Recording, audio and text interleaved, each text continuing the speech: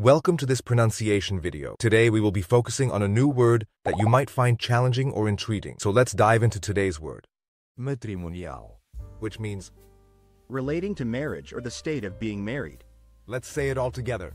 matrimonial, matrimonial, matrimonial, One more time.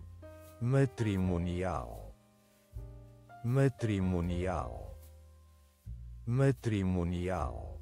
Thank you for joining us on this adventure in pronunciation. Remember, language is a journey, not a destination. Keep exploring, experimenting, and expanding your linguistic horizons. We'll see you next time.